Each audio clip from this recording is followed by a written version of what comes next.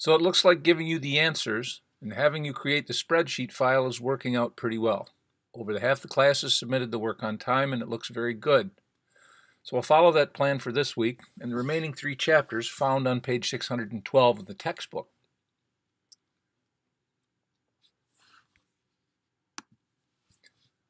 For week 6, homework number 1 is to do problem 3-9, 3.9. 3.9 is shown here on page 612 of the book.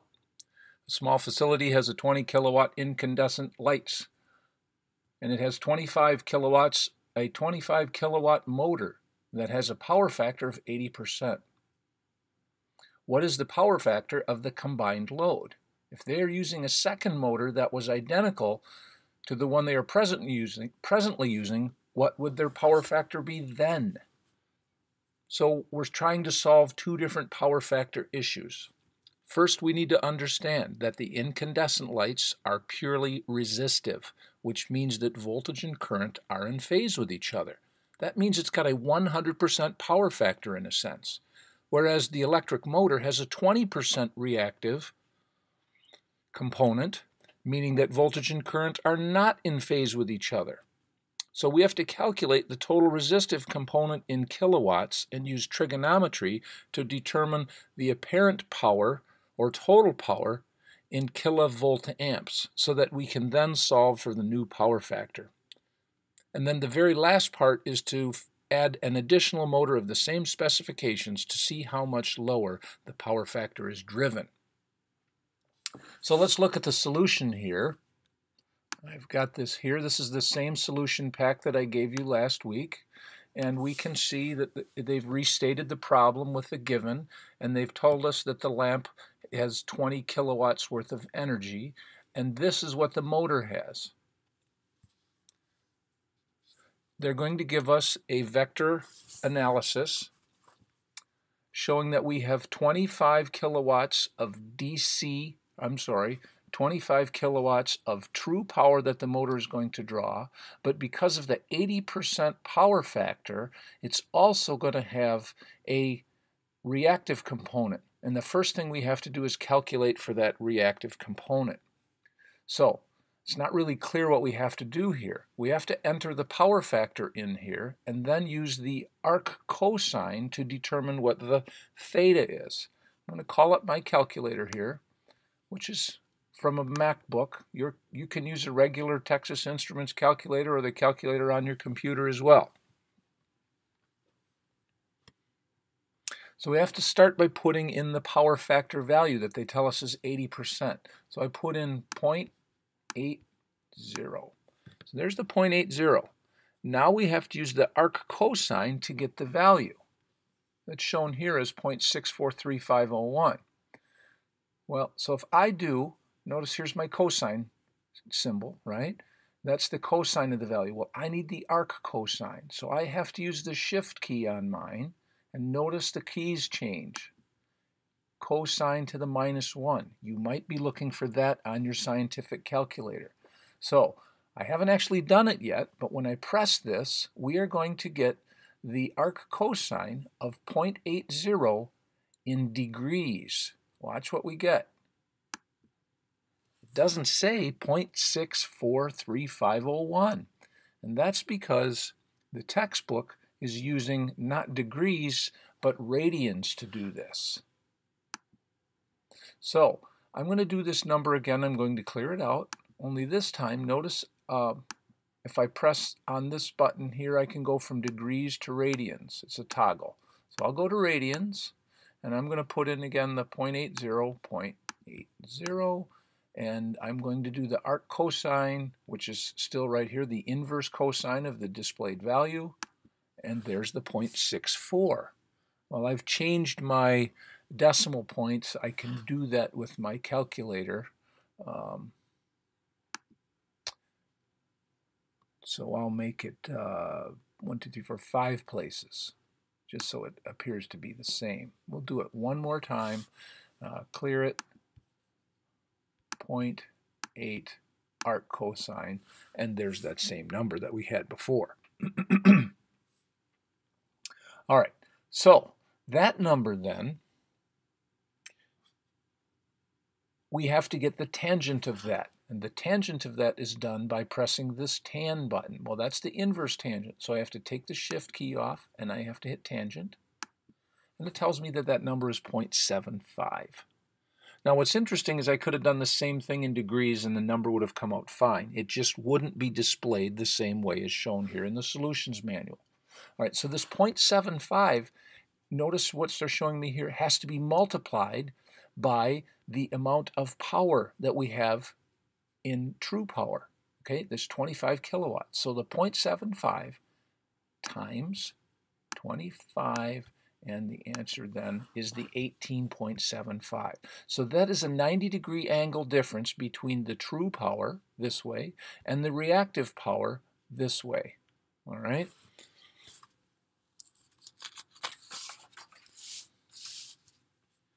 One thing I would like to point out here though, um, and that they don't show in this, is we could then get this length here. This length, this is the hypotenuse. We could determine what that is by, by getting the square root of the sum of these two values squared. Well, they do that down here in the next problem, but I'm just going to do it for this one here. So if I take this 18.75, right, and I square it using this key, squared, and to that I add plus 25 squared equals and now if I take the square root of that, it's going to tell me the length of this hypotenuse, okay? And that is known as the total power or the apparent power. So if you have this printed out and you wanted to write in here 31.25, that's the amount of power that the power company would have to generate, even though I'm only using 25 kilowatts to do the work, and they're only billing me for that. This is one of the reasons behind why we want to have a power factor correction that's greater than 80%. All right, so that's the first part of this. So we came up with the 18.75. Now, so that motor uses 25 kilowatts of true power, and it also has 18.75 kilowatts of reactive power. And so when I combine that with the 20 kilowatts of purely resistive power used by the lamps, we're going to add the 20 plus the 25 to the 45, right? So that's how we're getting, that's how much energy combined I will use in true power. I still have the reactive power caused by the windings in the motor, and I have to then determine what this length is, right? Just same way we did before. And so in this case, we're going to take the 45 squared plus the 18.75 squared, get that sum, and get the square root of that. This is the Pythagorean theorem. a squared plus b squared equals c squared. So again, I'm going to clear this out, and I will put in 45 squared plus 18.75 squared equals, and then go with the square root to show that I'm using 48.75 kilovolt amps, right? Kilovolt amps, that's this kVA. That's the total power or the apparent power, which has to be divided into the true power of 45 watts down here, right? So there's 48.75. And when I divide that into 45, that will end up with my power factor of 92% or 0.92. So let's see if we can do that. I'm just going to store that in here. So we'll store it, and then I'll say 45 divided by memory re recall, hit equals, and there's my 0.92. So it's 92.3%. That's my power factor if I, but when using one motor. All right, so if I scroll down now, and you'll see in, in the solutions manual, they say, I want to add a second motor. Oh, so by adding a second motor, what happens? Well, if one motor had 18.75 volt amps, uh, kilovolt amps reactive of reactance, well then two is going to have twice that amount, and indeed it does. So we add that together. The two motors combined have 37.5 kVARs.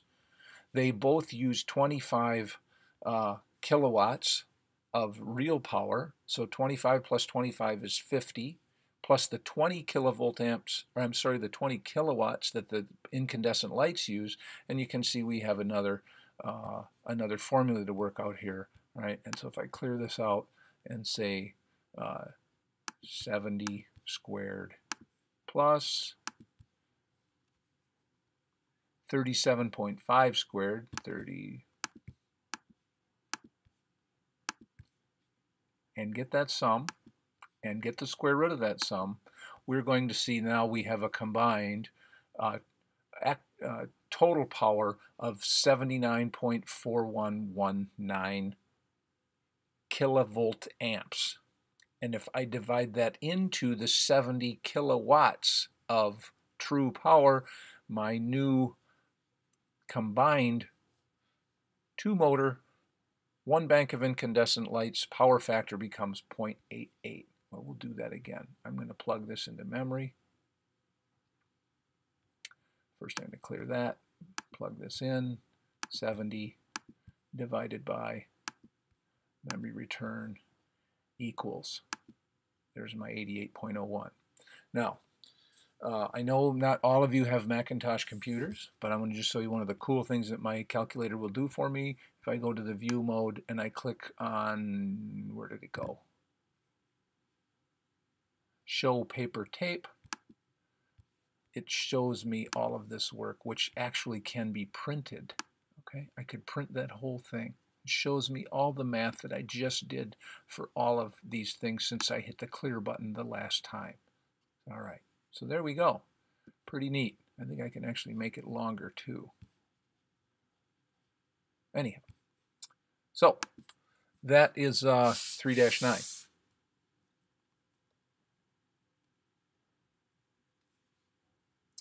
Our next problem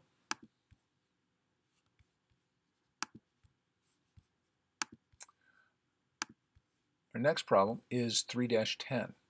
Okay, 3-10, again, we'll look at the Blackboard. Blackboard says, homework week 6, homework number 2, is to do item number 3, problem number 3.10. Problem number 3.10 is this, utility charges for demand based on 30-minute synchronous averaging period. Okay? Uh, what's going on? Won't let me move. All right, there we go. So, uh, this is the problem that they give us.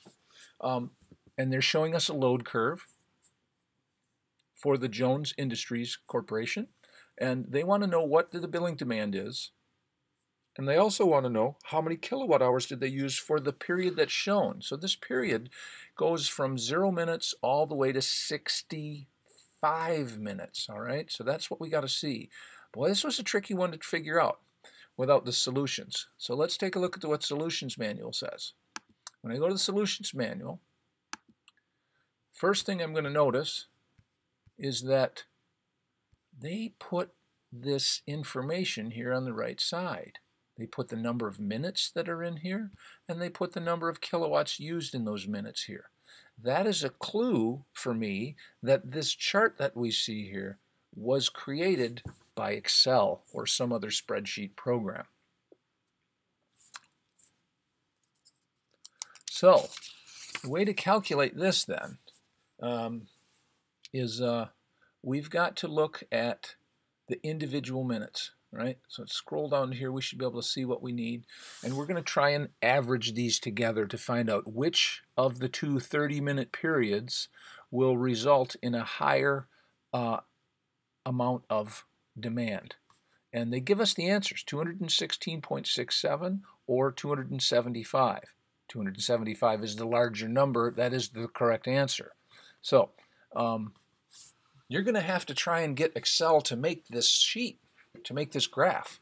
That part's not so hard, especially with what we did uh, last uh, in the last couple of weeks. But what before we do that, I want to talk about how this averaging took place. So without using Excel, I looked at what the, the authors gave us here. So for the first 10 minutes, from 0 minutes to 10 minutes, we had a steady use of 200 kilowatts, right?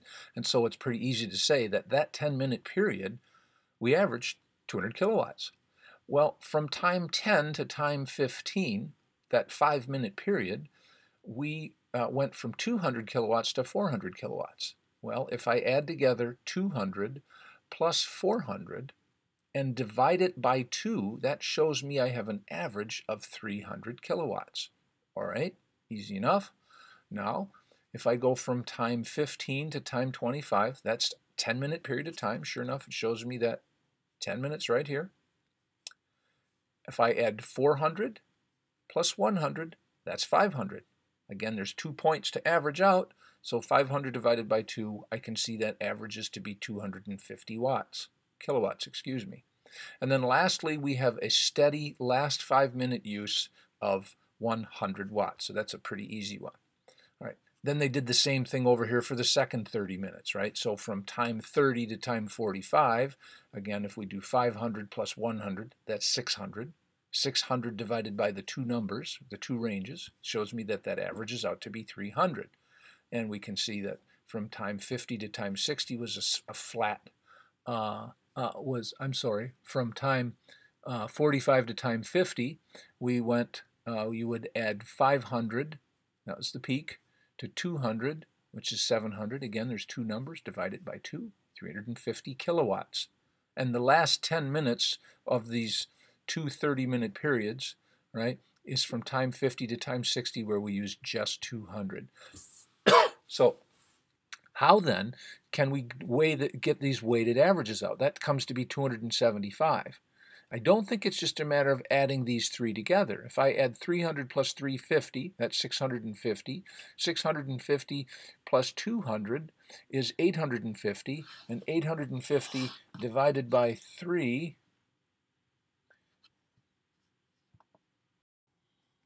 So let's add those up. I'm using the calculator from my computer. 300 plus 350 plus 200 equals 850 divided by 3 and the answer is 283 and a third. Well, that's not what we want. Um, says here we're supposed to come up to 275. I'm going to have to add this together differently. The way we'll do that is we'll see, for example, for these first 30 minutes, 10 minutes is one third of 30 minutes. So I have to multiply, I have to use one third of the 200 kilowatts. The second averaged period uh, was five minutes where we used 300. Five minutes is one sixth of 30 minutes. The 250 kilowatt average used shown here for this 10 minutes, that's also a third, and this last five minutes, that's also one sixth. So one third plus one third is two thirds. One sixth plus one sixth is another third. So there, all that adds up to be, you know, three thirds of a full 30 minute period. And that's how we'll come up with the 216.67. All right, so you can see my calculator's got this uh, paper tape thing that's pretty cool and uh, it just means that I have to enter things in the right way um, using parentheses where they need to be entered and, uh, and I'll have a nice paper readout of, uh, of what it looks like. So I'm going to clear out what I have here and I'm going to come over and clear this out and now I'm going to put this in. So I'll start out with 200 times 1 divided by 3. That's one third equals and there's my 66.60. All right, so that is one third of 200. And to that I need to add one sixth of 300, another one third of 250, and finally one sixth of 100. Now to do this, I'm going to have to use these parentheses. And if I don't put them in the right spot, I may have to start over. And I hope I don't have to do that because it's time consuming. So 66 and a third plus open parenthesis. I'm just going to start using the keys instead of the mouse. Notice the parenthesis there. So 300 times 1 divided by 6, close the parenthesis. Notice over here it did that for me, 300 times 1 sixth. And over here I can see the plus, so I have to now do another parenthesis.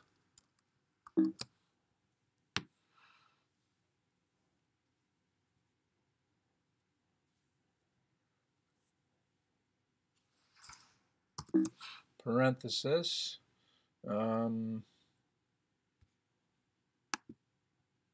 when I hit add, so it added the two together. So the 50 plus the 66. Now I hit the add and we do, we did the plus, open parenthesis, 250 times 1 slash 3, close the parenthesis. There's the 83, so that's um, one third of 250 plus, so it's added up to be 200, again, a parenthesis, 100 times 1 divided by 6, close the parenthesis, and hit equals, and we have 216.67, just like we see here in the textbook, all right? You guys can rewind this and, and do this again. Uh, you'll have to do the same thing over here for, um, for the second 30 minutes to come up with 275. It'll work just fine.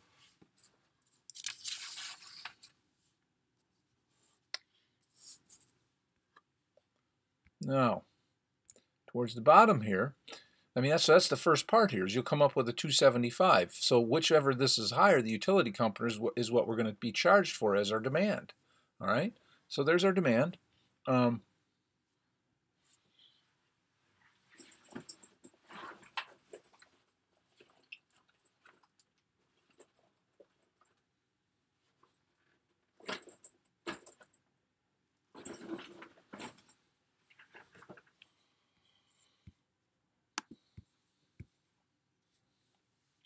And the last part of this, notice uh, we're going to have to do this all over again. We're going to have to take the 267 and, and two-thirds for a half an hour. So multiply this times this, right? Plus 275 times 0.5, plus notice we're just going to use this last five minutes. It has to be 400 kilowatts times five minutes times 1 over 60. That ends up to be 1 12th right? And so we can do the same thing, 400 times 1 12th. We add all those together and we will come up with 279.17 kilowatt hours. Works really well.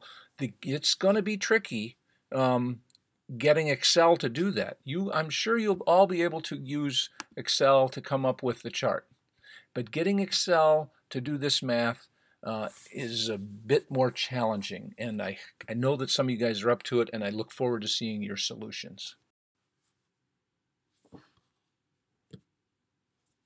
Week 6, homework number 3 is to solve for problem 311, 3.11, which reads, the A1 Best Company has a steam demand of 6,500 pounds per hour and a consumption of 350,000 pounds during the month of January. Based on this hypothetical steam rate in figure 3-13, which happens to be on page 121, determine the steam consumption cost for the month. Using the solutions provided last week, create an Excel file which performs the required calculations. Email me the file. Files, of course, can be combined into a single worksheet file and with individual tabs for each assignment. It will be due uh, in one week on March 3rd at 11:59. So let's take a look at again. There's the there's the problem as stated on page 612. And if we look on the solutions manual, this is how it tells us we do this.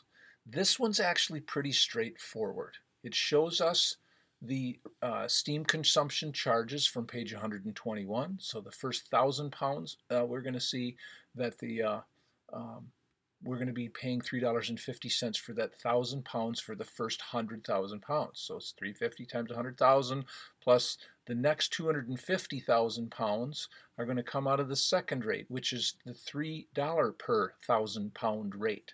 We add the two together, it comes to 11 1100. Pretty straightforward. You guys should be able to handle that one, no sweat.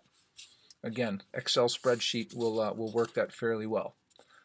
All right, the next and last assignment for this week is, uh, again, the A1 Best Company also uses chilled water, and the rate is also shown on figure 3-13. During the month of July, their chilled water demand was 385 tons, and their consumption was 250,000 ton hours what was their monthly cost and what was the their BTU per hour equivalent for the average chilled water demand. Same rules as last week. Let's see how that comes out.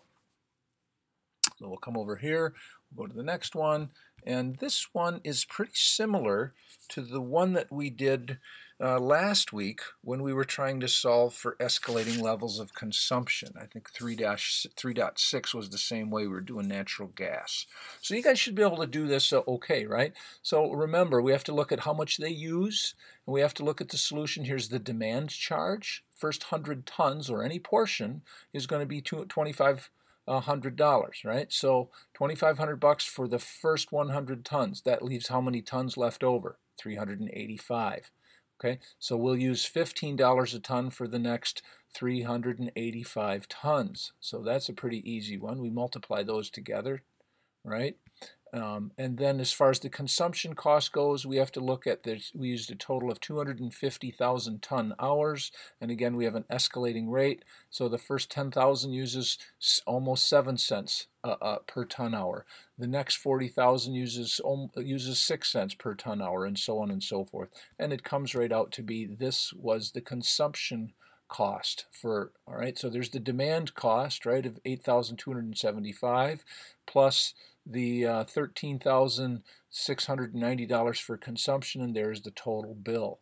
The average demand can be calculated by multiplying consumption times the number of BTU uh, hours per ton divided by the number of hours in a month in the month of July right and that's how this calculates out so when you make your spreadsheet you're going to have to have some stuff there about how many hours are in a month, how many months are in a year, and all that other stuff.